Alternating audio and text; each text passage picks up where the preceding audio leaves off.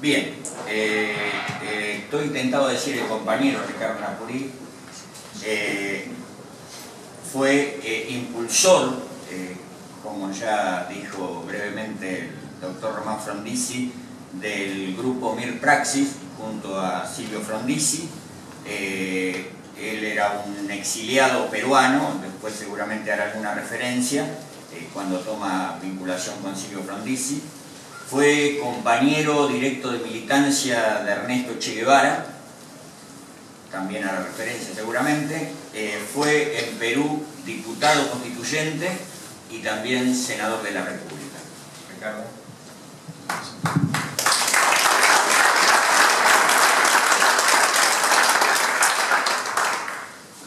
Agradezco a la dirección de la Biblioteca Nacional de la familia Frondizi por esta invitación. Yo no soy un invitado normal, diríamos, porque como lo ha dicho Román y lo ha dicho tú, yo soy parte no solamente del proyecto político que Silvio Frondizi gestó, sino he sido también parte de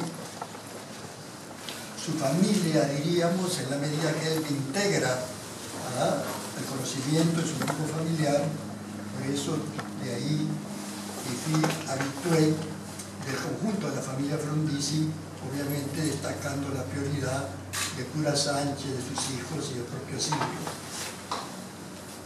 Eh, Román ha dicho que Silvio me salió de, sacó de la cárcel es cierto. Yo tengo un problema en esta exposición porque yo le pedía a mi amigo que me diera cinco minutos más porque decía yo no tengo la capacidad de comprimir 10 años en 10 o 15 minutos. De manera que eh, el desafío está planteado y voy a hacer una exposición de tipo casi telegráfica y reduccionista porque no puedo decir en 20 minutos o en 15 que me toca qué cosa construimos en común ¿Por qué resulté el mejor discípulo, yo creo, de Silvio? Porque si Silvio hubiera estado acá, yo le hubiera dado mi parte política diciendo que el proyecto político que él gestó en Argentina y se quedó en medio camino, yo lo realicé en Perú. Y la organización Vanguardia Revolucionaria, después de haber hecho mi compromiso con el Che y la frustración de las guerrillas, retomé las posiciones de Silvio Frondizi, incluso con los materiales del segundo tomo, la Revolución Democrática y la Revolución Socialista, dimos una batalla en todo el espectro político, siendo dominante los estalinistas su versión pequinesa y moscovita, lo que quedaba del nacionalismo del APRA, los reformismos existentes y los incipientes trotskistas. Dimos una batalla como Silvio nos enseñó a darla acá y pudimos construir una organización con influencia de masas, con intelectuales, con académicos, formamos la Central Obrera con el Partido Comunista, formamos la Federación Campesina, fuimos la mayoría estudiantil por un periodo largo. Y al final la historia consigna que la nueva izquierda en Perú fue vanguardia revolucionaria, es decir, vanguardia que se fundó con los postulados de Silvio Frondizi. De tal manera que yo no les puedo decir cómo se realizó el proyecto de Silvio y cuál es mi parte en esa realización, pero les adelanto que lo que quedó inconcluso en Argentina, yo lo realicé en Perú.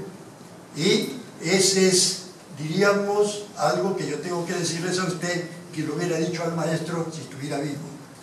Y rápidamente voy a decir por qué era un proyecto político. Eh, cuando yo le agradezco a Silvio en su estudio de corriente 1447, tercero J, o no, ¿Sí? ¿es así?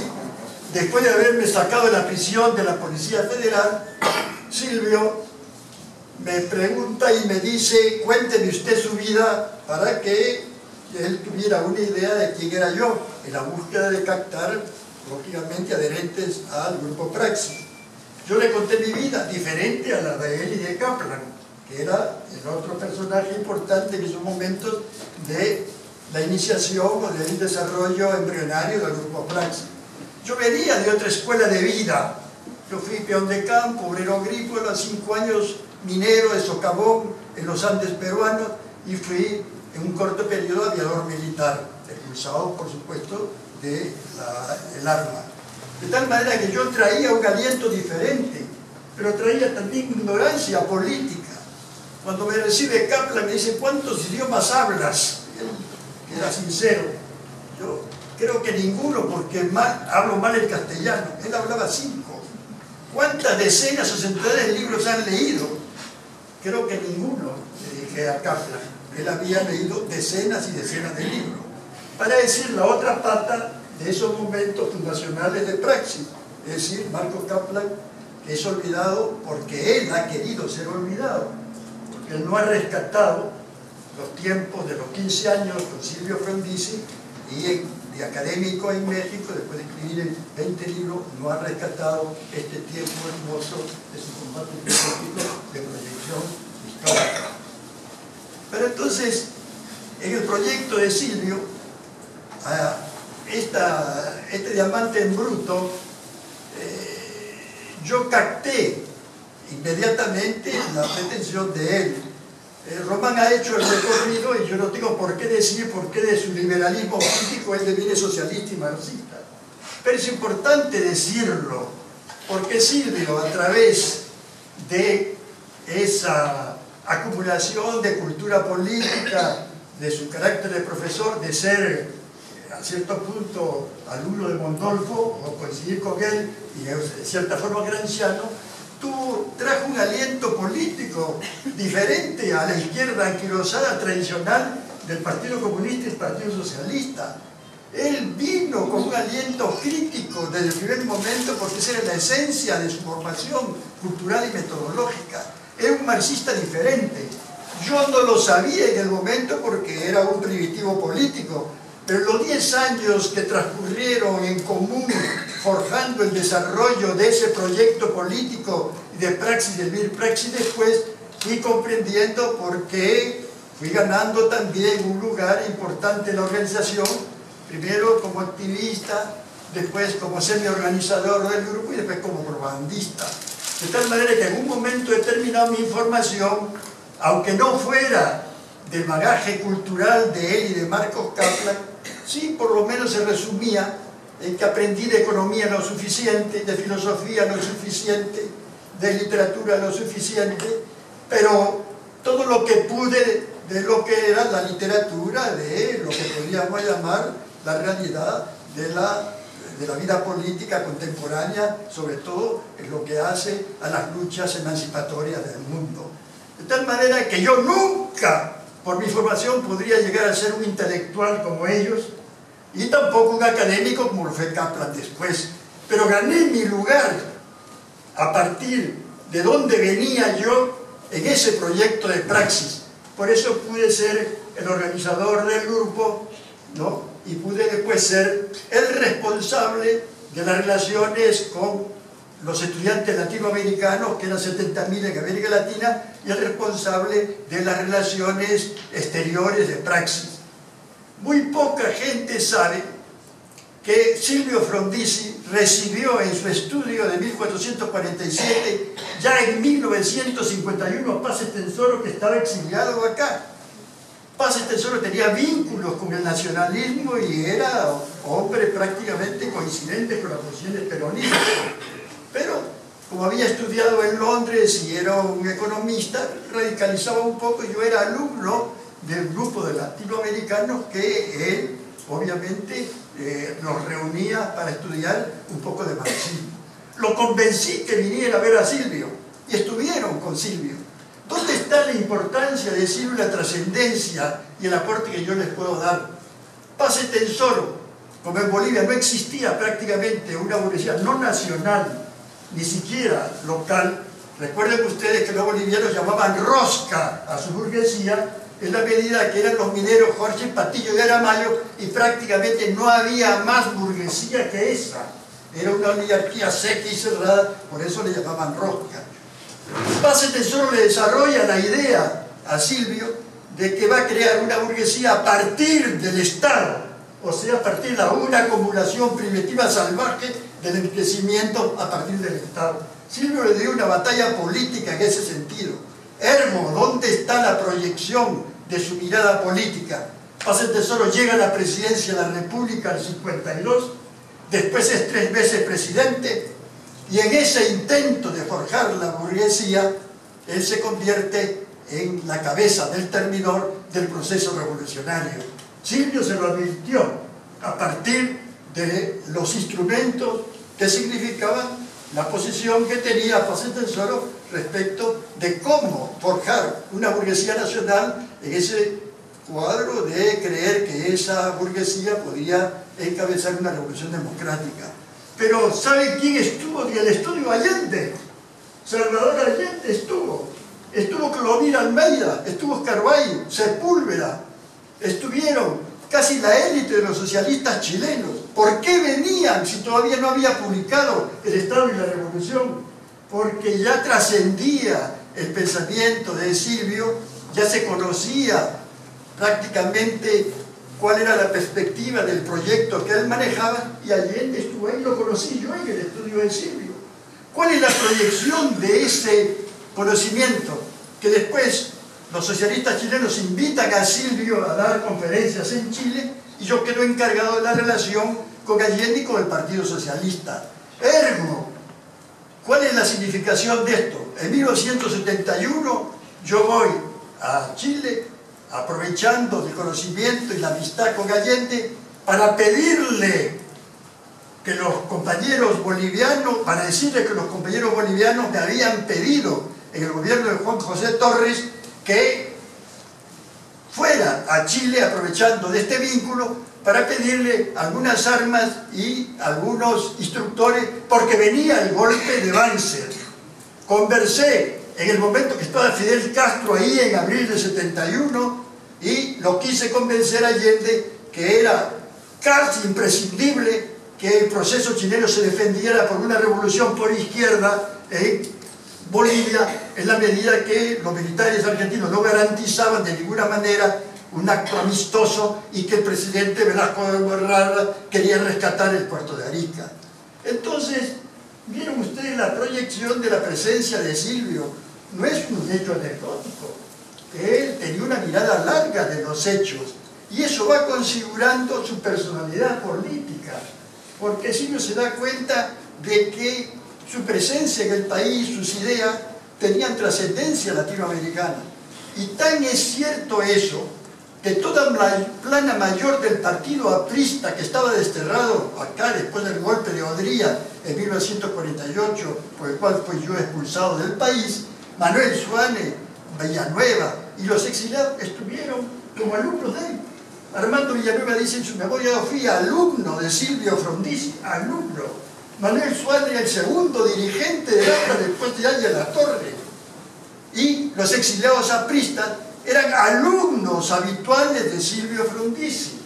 De tal manera que el proyecto de Silvio, que lo digo rápidamente, tiene una vocación que va más allá de las relaciones que iba tejiendo a partir de su figura, de la proyección de su pensamiento o las obras por las cuales se interesaban otros eh, personajes de la vida política.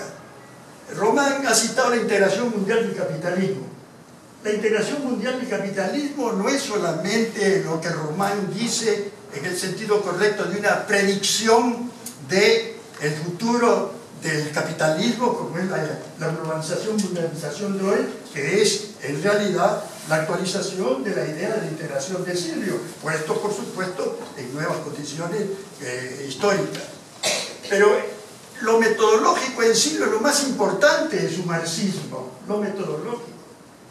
Él era partidario del método abstracto deductivo, como había asumido eh, el materialismo dialéctico recreándolo, como creía en el desarrollo desigual y combinado, entonces él aplica este conjunto de elementos metodológicos para analizar el capitalismo de la posguerra, o sea, la hegemonía de Estados Unidos. Pero Lo importante que interesa aquí es lo que le da una connotación histórica a su pensamiento, es que él sigue el curso de la acumulación capitalista en tres etapas que él define perfectamente. La competencia nacional del capitalismo, estudiado por Marx, dice él, donde la libre competencia es lo que regía, pero sobre todo, y aquí viene una posición principista ética respecto del capitalismo, porque eso se hacía en las condiciones del reparto del mundo, decir que ya había colonización, por supuesto del siglo XV para adelante, no era eh, los países centrales que se forjaban sus estados nacionales con un desarrollo del capitalismo primario, no, ya existía la colonización, la colonización tiene una importancia capital en todo el proceso de acumulación del capitalismo en todas las etapas. Y si uno lo percibe ahí. Pero entonces él ya señala los orígenes de la desigualdad. Porque los capitalistas que emergían después del feudalismo no fueron nunca amigables con las masas del proletariado. 20 o 30 horas de capitalismo salvaje fueron los que dieron la acumulación primitiva inicial. Y la desigualdad social lleva al terreno de lo que los marxistas y todo el mundo ha llamado como la lucha de clases. La desigualdad trae la diferencia de clases y la lucha de los de abajo por emanciparse o defenderse en un momento, o la rebeldía de ellos, trae los enfrentamientos de clase que marxistas y no marxistas llamaron lucha de clase y que hoy ha dormido el concepto por razones que cada uno sabe por qué. Pero el otro problema también es que él estudia el imperialismo Lenin como el desarrollo del capitalismo monopólico, ya como el proceso de acumulación. ¿Por qué? Porque como lo dicen los marxistas, lo sabía él como buen marxista, el sistema tiene una contradicción fundamental que lo lleva al desastre. El desarrollo ilimitado de las fuerzas productivas y su contradicción las relaciones sociales de producción. O sea, que el impulso al desarrollo de la fuerza productiva es limitado por la capacidad de compra, de consumo y la capacidad, obviamente, que ese capitalismo pueda ser absorbido por el, conjunto de la población. Esa es la contradicción fundamental señalada por los marxistas clásicamente y que Silvio retoma. Pero en ese sistema de Lenin, que lo estudia después de la, Primera Guerra Mundial, el imperialismo de Lenin tiene el hecho de la competencia de los estados imperialistas entre sí, pero tiene también el otro problema de la lucha de, los países coloniales y coloniales por descolonizarse en vista de que el imperialismo adquiere nuevas formas, sobre todo la exportación de capitales y otras formas de opresión. Y la tercera que él llama la integración, que es fundamental en este caso, es que eh, Silvio señala, como Román lo ha dicho, es así, que la hegemonía norteamericana no es producto solamente de un desarrollo cuantitativo de la potencia, sino que el desarrollo de la acumulación capitalista que pasa por los monopolios llega a la tendencia a unificar la economía a través de un bastión imperialista que no puede ser lógicamente por las condiciones capitalistas de varios imperialismos, sino que uno intenta, el norteamericano y arrastra, como hemos visto, a los otros imperialistas que quedan subsumidos en esa dominación. De tal manera esa previsión de Silvio es importante. ¿Por qué? Porque ahora tenemos el hecho de que en la mundialización tenemos el drama humano. El capitalismo se ha vuelto salvaje, o se está volviendo salvaje. Rosa Luxemburgo ya lo había advertido. ¿Es así?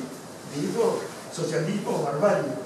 Pero antes que ella, la Salle, lo debes saber, lo debes saber tú, dijo que los liberales eran los bárbaros modernos, ¿sí o no? Esa categoría de que los liberales son los bárbaros modernos es sorprendente por justa, porque el capitalismo de hoy lo preside toda la concepción liberal y obviamente los gobiernos liberales. Todos son demócratas liberales, los países centrales. Están asolando el mundo con la miseria, 60% de gente marginalizada, guerras por todos lados, por otro lado, ¿por qué? El propio sistema de acumulación lleva a la guerra. Porque la mercancía, armas, tiene que consumirse. Una Coca-Cola se consume, pero las armas, cuando se producen, la economía es una economía de guerra, tiene que consumirse. Las guerras son inherentes al propio sistema capitalista. Y no serán guerras entre interpotencias, pero han universalizado las guerras, que le llaman de baja intensidad o como les llamen, de manera que está garantizado que los liberales que la Salle decía que son los salvajes modernos y que Rosa Luxemburgo lo previó, llevan o van a la destrucción de la naturaleza y de la humanidad. Y finalmente, como me estás dando muy poquitos minutos, me salto etapas y digo que hay que tener en cuenta algo, el vínculo de Silvio con el Che y Cuba, que pocos lo conocen. Demoré un año en convencerlo al Che para que invitara a Silvio el Che, que tenía una formación política, usted sabe, elemental, aunque era culto, ya era un gran hombre, sin embargo su formación él se fue formando en el camino, como genio, por supuesto, en el camino. Ese trotskista me decía siempre, ¿no? Yo le decía, ¿por qué el trotskismo es mala cosa? Es mala cosa. Los compañeros guatemaltecos me han dicho que es mala cosa. Y me voy a engaño en convencerle. Silvio Frondizi fue clandestino a Cuba no es cierto que fue invitado formalmente para el pasaje, fue invitado por un organismo, pero yo lo convencí a Che porque el Che me dijo hay que impedir que los estalinistas bloqueen eso. Ya en 1960, en mayo, cuando Silvio estuvo allá, el Partido Comunista y el Partido Socialista estaban tomando posición y el Che no es así, lo invita clandestinamente así. Por eso cuando Silvio llega al aeropuerto Rancho Boyer, me había a mí solo, me dijo, ¿dónde está Fidel y dónde está el Che? Porque ellos recibían con bombos a todo el mundo. Yo le explico y casi me da un patatús. Pero yo había arreglado con el Che una trampa para Silvio, que le ofrecía la Universidad de La Habana, que le ofreció él, que le ofreciera la cultura con Galicia, Santos y Amonte, con otros, para presidir a, la transición cubana, incorpórenlo ustedes, lo que lo sepan, es un quilombo ahí. Nadie piensa que la cosa es ordenada, ni mucho menos. Ahí todo el mundo disparaba para cualquier lado. la revolución no había definido ningún perfil. Si ustedes leen el libro de Seltzer sobre Cuba, los primeros ocho meses van a ver que Fidel Castro esos ocho meses se declaraba aprista, nacionalista, cualquier cosa, menos antiimperialista y menos anticapitalista. Esto para saber cómo el conjunto de especificidades determinaron la excepcionalidad de la revolución cubana.